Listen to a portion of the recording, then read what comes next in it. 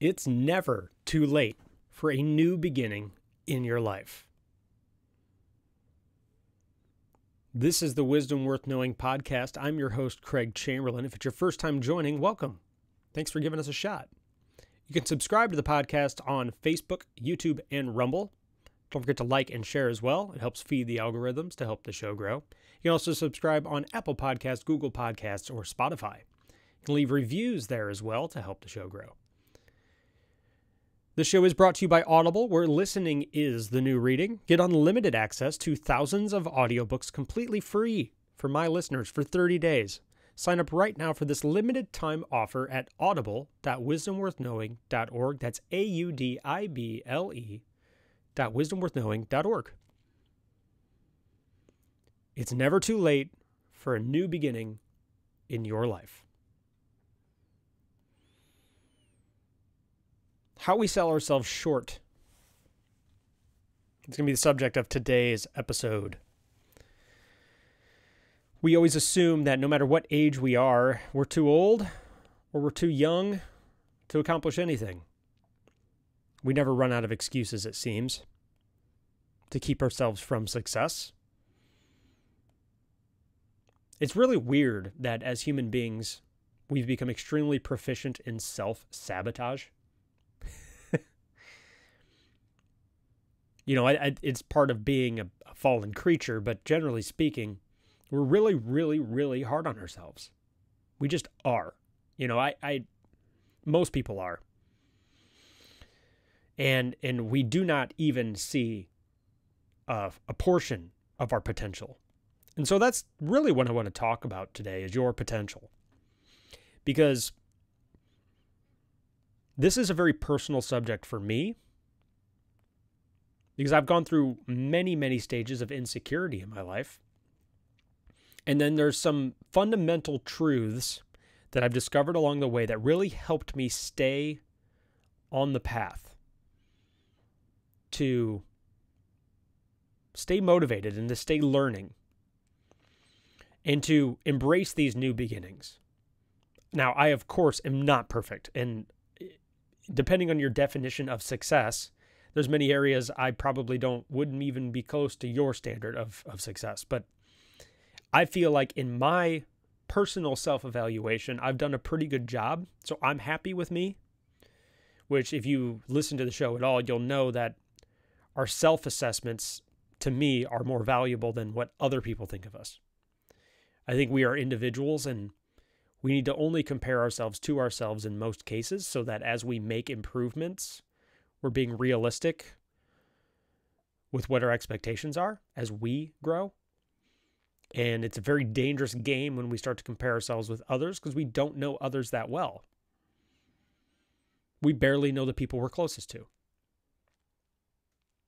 So I'm going to share my experiences with you that I think have really helped me continue on this path of new beginnings. I am 37 years old. I started this podcast. Um, I mean, as of the the recording of this episode, it looks like we're on episode 70 and and I made it a personal goal to do a new video every single day, which means I'm only 70 days into this thing. And it still is a perpetual challenge for me to wake up every morning and to do this every day. I mean, because like, what's the point, right? Why am I? Wh- why? You know, you you can really get filled with all this self doubt and self criticism, and why are you even bothering? And Nobody's even listening. You like you'll you'll wrap yourself up in all of these negative emotions that really really sabotage your potential. And I get it. I still experience it on a daily basis. You know, why bother? and the being too old and thinking it's too late for you to continue to grow, I'm going to do my best to demolish that lie for you today.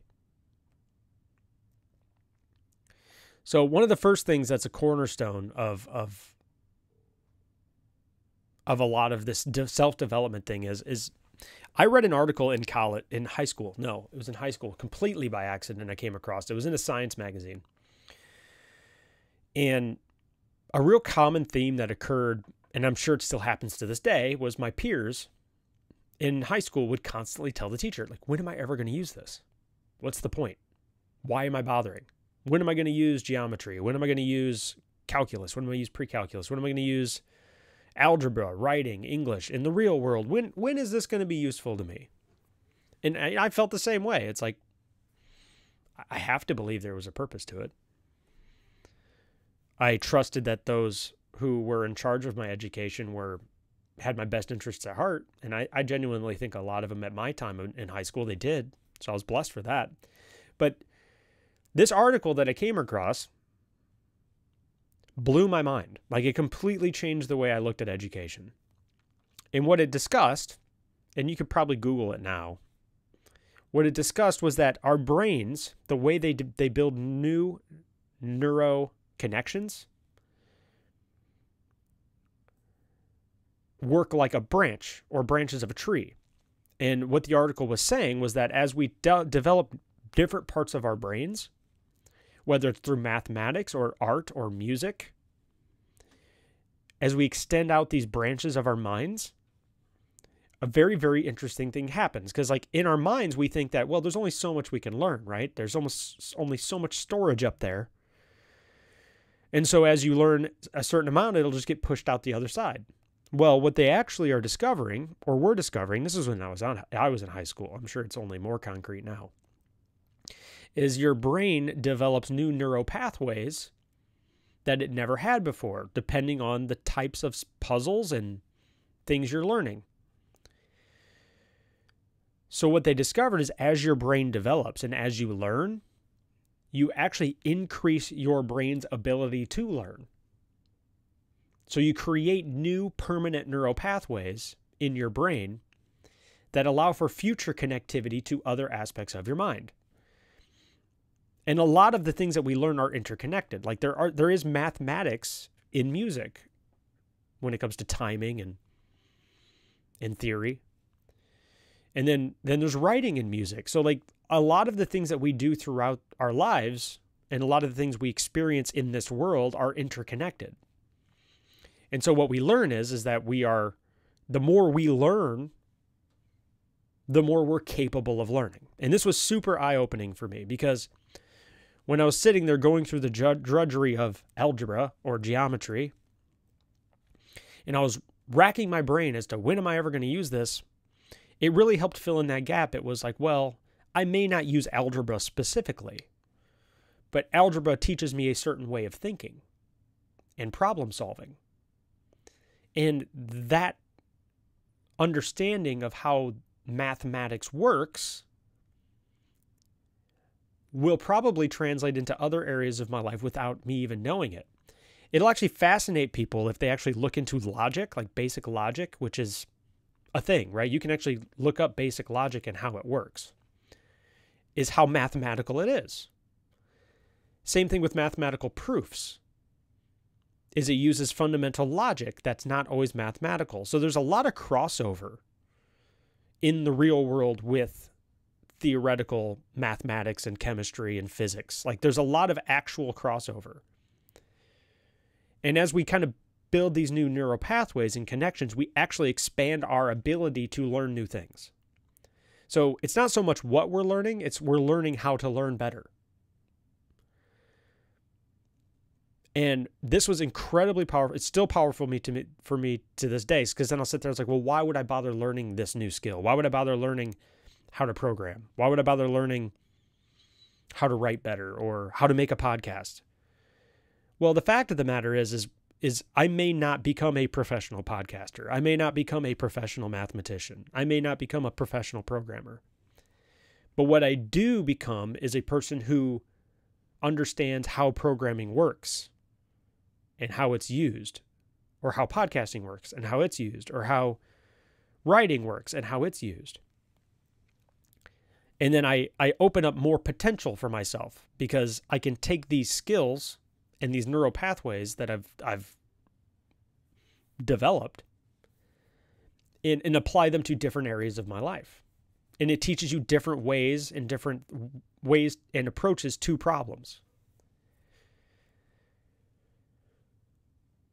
The brain the human brain, we only really tap into a small percentage of its potential. And so, one thing that I do want you to grasp from this is that no matter what age you are along this path, you can begin building those connections now. You know, you can start learning a new skill now. And sure, you may not become a professional at that specific skill you're learning, but you are improving your mind. You're strengthening your mind and the connections that it has. And then, whatever that new skill is, even if it doesn't pan out, you carry that with you into the next thing. And you can literally start that today. You can buy a book, you can jump on YouTube and watch videos and an unchallenged mind is is uh, I I believe it becomes a depressed mind in a lot of ways. And, and that's true for me. Like I genuinely need to be challenged all the time. And if I get in a routine in a rut, this challenging part is becomes increasingly difficult for me to function on a daily basis if I'm not challenged. And so a lot of times I need to find new ways to challenge myself just to keep myself from driving myself insane. We're going to dig into this a little bit here in a moment, but first, Wisdom Worth Knowing is brought to you by Amazon Audible. If you're like me and you love reading but don't have the time, then Audible audiobooks may be the perfect solution for you. With Audible, listening is the new reading. You can pop in your earbuds and discover that next exciting adventure or expand your knowledge from any PC, Mac, Android, Alexa, or Apple device. And check this out because you listen to this show, for a limited time, you get instant access to thousands of audiobooks from Audible's Premium Plus catalog completely free. Just visit audible.wisdomworthknowing.org and take advantage of this free trial for my listeners for 30 days. That's right, for 30 days, you'll get full access to Audible's Premium Plus catalog as well as an additional free title of your choosing. If you discover audiobooks aren't for you, no problem. You can cancel instantly online. Your card won't ever even get charged. That's it. It's that simple. Two years ago, audiobooks began to change my life, and they may change yours too. Pause this podcast and head over to Audible. That's A U D I B L E dot wisdomworthknowing.org and sign up for this limited time offer for my listeners right now. That's you. So, understanding how the brain works was immensely beneficial for me. I'm so grateful that I came across that when I was probably 16 years old. Because then, actually, when I ran into that question or I heard my peers saying, When am I ever going to use this? And I was like, Well, once you know something, you have no idea what you might use it in. We don't know.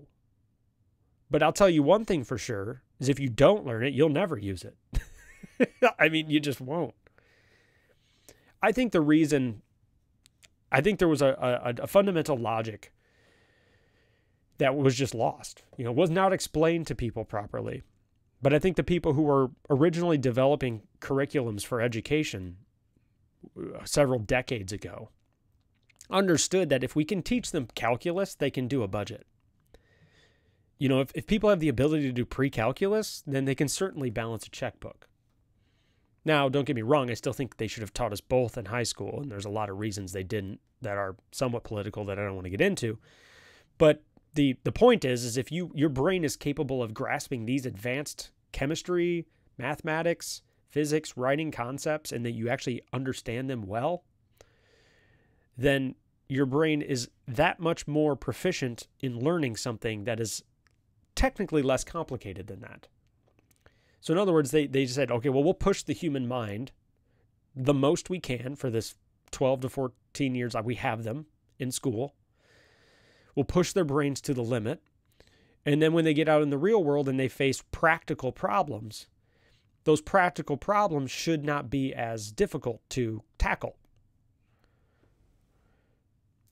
I'd like to believe that fundamentally is what they were going for. Now, the problem is is we lost that somewhere in the mix. Like teachers stopped explaining that to students. They said well you're learning pre-calculus so that you can balance a checkbook.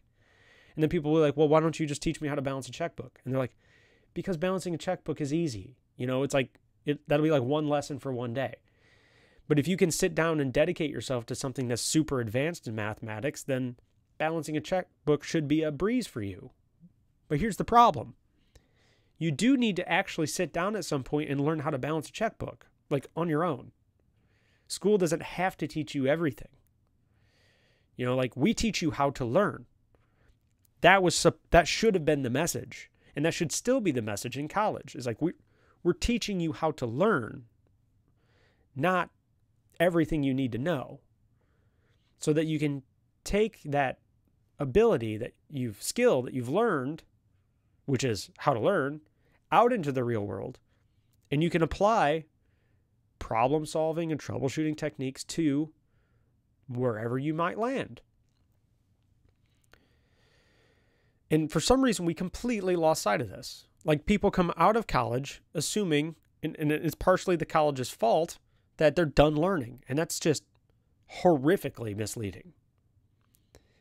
37 years old, I've been at the same job for 15 years, and every day I walk into that building, I have to learn something new. It helps that I'm part of a small business. So, small businesses mean that the problems never stop coming. You know, like they, they just don't. Your job isn't a canned one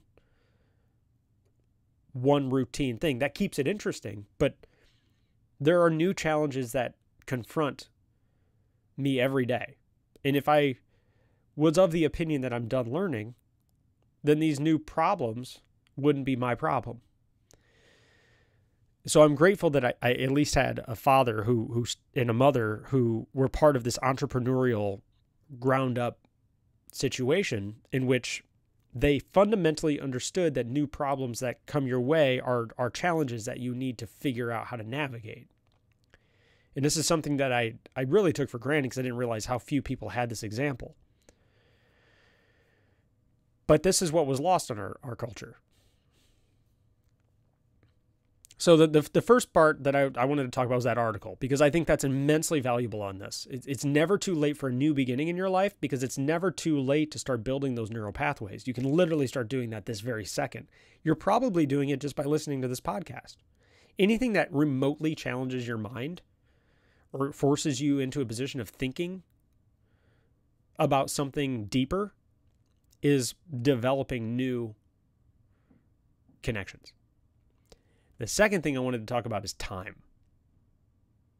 So that it's never too late.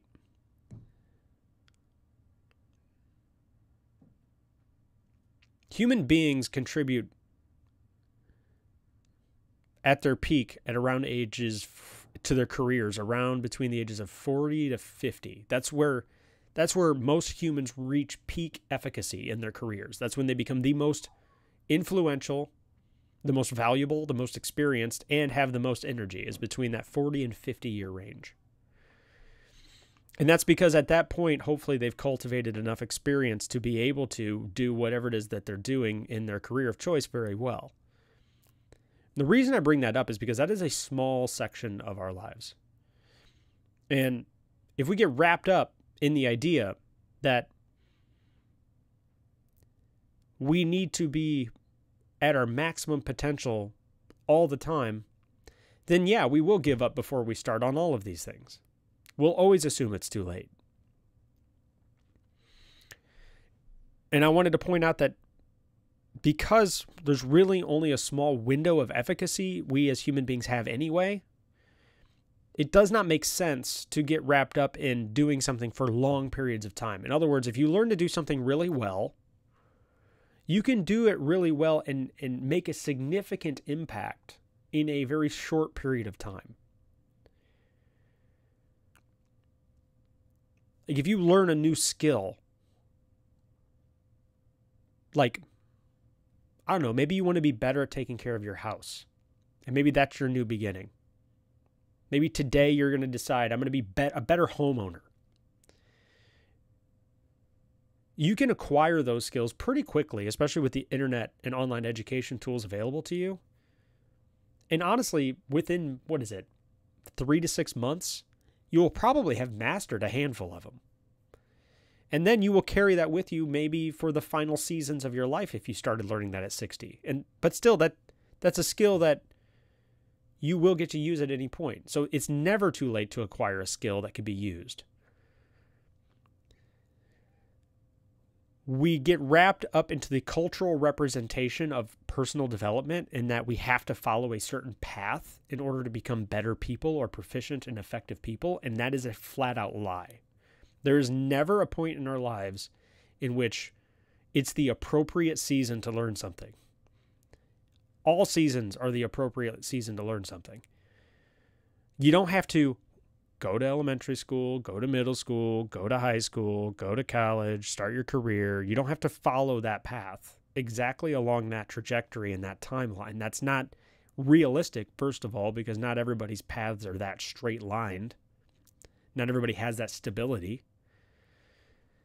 Sometimes you go to school, drop out of school, go back to school, graduate, then you go to work in a career with a GED, and then you find, hey, it would be great in my career if I had an associate's degree. So then while you're working, you go to night school, and then you maybe scrounge up enough time and energy across five to 10 years to get that associate's degree. And then you maybe go up in your job and you develop, you get promoted. And then you're like, hey, it would be great if I had a bachelor's degree or maybe if I got some certifications.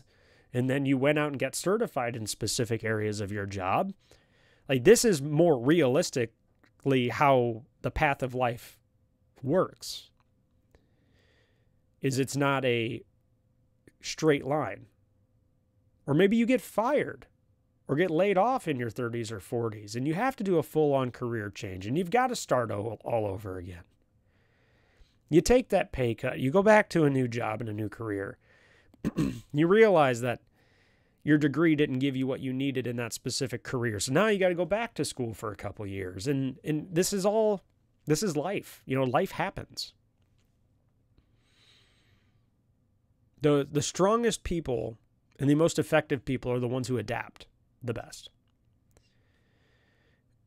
The ones who don't get so incredibly rigid in how their lives are supposed to be currently going and how they should go in the future. Those are the ones who end up being the most effective. Because to a point, to a significant point, life happens to us. We don't we don't get to define the route we take there are certain ways we can carve new paths. It takes a tremendous amount of courage and work to do that. But for most of us, more, a lot of our, our lives are the result of external circumstances. Now, I'm saying I'm not saying we're completely powerless, right? We can pick up and we can move, but but there are a lot of forces outside of our control. And and if we rather than looking that as a bad thing, if we say, okay, well, where are my opportunities here? And we maximize our current situation, then that's a much healthier approach. and it also allows us to adapt to whatever's occurring at that stage of life. So these are two things that I really cling on to, you know, and, signing up for things like Audible, which, like I said, audible.wisdomworthknowing.org will give you that special deal. It, it gives you access to thousands of audiobooks that these are all potential pathways. And maybe you go down one for a couple weeks and you discover it's not for you. Well, that still is not a wasted two weeks. You discovered it wasn't for you. That has value to it. and so it's the same thing with everything else. You know, you, you experiment with something and then you start building that experience and that knowledge base. And it's very true. And, and I can tell you this at 37 as opposed to 17. Because I have stuck with this, and I'm not doing this as self appraisal, I'm just stating a fact. Because I've kind of adopted this philosophy of the more I learn, the more I'm capable of learning, it is incredibly easy for me to learn a new skill now compared to how it used to be. And that is because of of the conditioning and time and energy I've put into my brain. Um, and, and like I say, I'm not bragging. I'm just saying that that that study that I read in high school turned out to be true. It did. It just turned out to be fact. The more I learn, the the easier it is to learn new things. It's become easier for me. So if you're one of those people where things just don't seem to come easily for you, it's like just get started learning something new. And yes, it's super frustrating at first. And every time I'm learning something new, yes, it is frustrating. But my ability to learn is better now than it was 10 years ago. And it was better 10 years ago than it was 10 years before that. So as long as we stay on that path, things do get easier. So, yeah. I hope that helps some of you out there today. This is the Wisdom Worth Knowing podcast. I'm your host, Craig Chamberlain. Thank you for joining me today. Before you go, feed the algorithms and like, share, and subscribe on Facebook, YouTube, and Rumble. Also, subscribe on Apple Podcasts, Google Podcasts, and Spotify, and leave a review if you like the show. If you don't like the show, please don't. Wisdom Worth Knowing is brought to you by Audible, where listening is the new reading. Get unlimited access to thousands of audiobooks completely free for my listeners for 30 days. Sign up right now for this exclusive offer at audible.wisdomworthknowing.org. That's A U D I B L E dot wisdomworthknowing.org. Before we go today, remember it's never too late for a new beginning in your life. So let's work on being the best version of ourselves we can today because, as always, that's all we can do. I will see you all tomorrow.